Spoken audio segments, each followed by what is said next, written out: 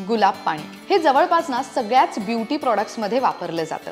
आपण जेव्हा घरी फेस पॅक बनवतो ना तेव्हा त्यात आवर्जून गुलाब पाण्याचा वापर करत असतो. हो ना? जवळजवळ प्रत्येक मुलीच्या ब्युटी किटमध्ये गुलाब पाण्याची छोटीशी बाटली का होईना ती कायम असतेच. गुलाब पाण्याचे काही थेंब क्षणार्थात आपला चेहरा ताजा तवाना करण्यासाठी मदत करतात. हे जितकं बरोबर आहे ना तितकंच हेही जाणून घेणं गरजेचं आहे की गुलाब पाण्यामध्ये असे काही घटक आहेत जे ॲड केले ना तर त्याचा विपरीत परिणाम चेहऱ्यावर सुद्धा होऊ शकतो. हो. आता तुम्ही म्हणाल की हे कसं शक्य आहे?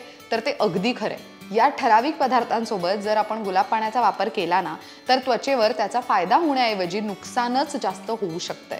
असे नेमके कोणते पदार्थ आहेत बरं? तेच जाणून घेऊयात. नंबर वन व्हिनेगर व्हिनेगर व गुलाब पाणी हे दोन्ही घटक ना आपल्या त्वचेसंबंधित अनेक समस्या दूर करण्यासाठी फायदेशीर नक्की ठरतात. व्हिनेगर चेहऱ्यावरील डागांपासून संरक्षण करण्याचं काम करतं पण गुलाब पाणी व्हिनेगर मिसळून वापरलं तर आपल्या त्वचेसाठी हानिकारक ठरू शकतं. असं केल्याने आपल्या त्वचेचा जो पी एच लेवल आहे तो बदलतो. दुसरं बेकिंग सोडा. बेकिंग सोडा आणि गुलाब पाणी. या दोन्ही जरी नैसर्गिक गोष्टी असल्या ना तरी त्यांच्या भिन्न स्वभावामुळे ते आपल्या त्वचेवर एकमेकांशी रिॲक्शन करून काहीतरी समस्या निर्माण करू शकतात. त्यामुळे आपला चेहरा निस्तेज होऊ नये आणि रॅशेस देखील येऊ नये. म्हणून तुम्ही हे अवॉइड करा. इतकंच नाही तर आपली त्वचा ही संवेदनशील असेल तर या दोन्ही गोष्टींचा एकत्रित वापर केल्याने त्वचेला इजा होण्याची शक्यता वाढते.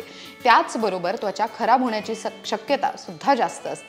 तिसरं इसेन्शियल ऑइल वेगवेगळ्या प्रकारचे इसेन्शियल ऑइल्स आपल्या त्वचेसाठी अतिशय महत्त्वाची भूमिका बजावत असतात. काही जण इसेन्शियल ऑइलमध्ये गुलाब पाणी मिसळून त्याने त्वचेला मसाज करतात पण असं केल्याने आपली त्वचा खराब होऊ शकते.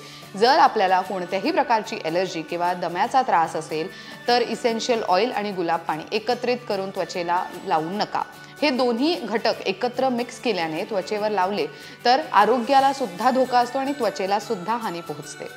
चौथं लिंबू. चेहऱ्याची त्वचा असो किंवा कपडे डाग दूर करण्यात लिंबाचा हात हा फार तगडा असतो. लिंबाचा रस गुलाब पाण्यात मिक्स करून चेहऱ्यावर अजिबात लावू नका असं केल्याने त्वचा खराब होऊ शकते आणि चेहरा तुमचा आधीपेक्षा जास्त कोरडा होऊ शकतो. आता भले तुम्ही म्हणत असाल की आम्ही हे सगळे प्रोडक्ट्स एकत्र वापरतो पण आम्हाला काही परिणाम होत नाही.